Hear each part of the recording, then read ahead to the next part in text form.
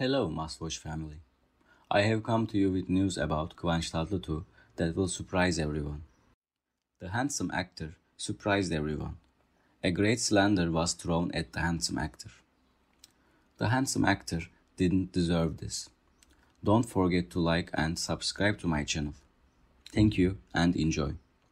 The Twitter account responded to the allegations that Kıvanç Tatlıtuğ betrayed and cheated on Başak Dizer who, whom he married six years ago, stating that he will use his legal right to unfounded news and comments. The 38-year-old actor wrote the following in his tweets.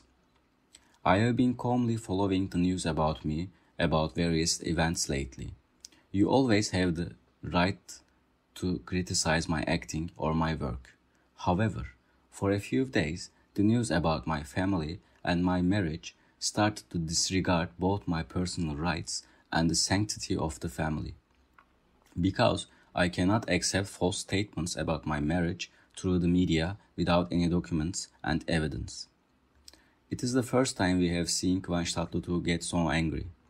The handsome actor really values his family and the news that will upset Başak Dizer made Kıvanç Tatlıtuğ very angry. A journalism approach to produce fake news with the headline is he having a relationship with his colleague?